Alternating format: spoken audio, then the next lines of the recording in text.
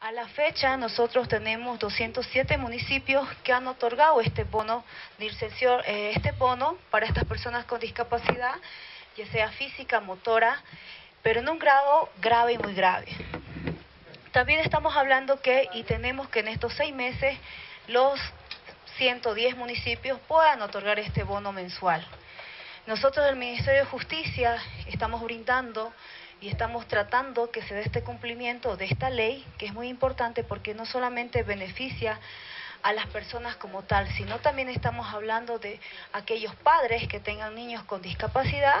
en calidad de tutores puedan beneficiarse de una inserción laboral. Nosotros esperamos en 2018 que el proceso de inserción laboral de personas con discapacidad grave eh, muy grave de eh, padres, de tutores, de eh, personas o,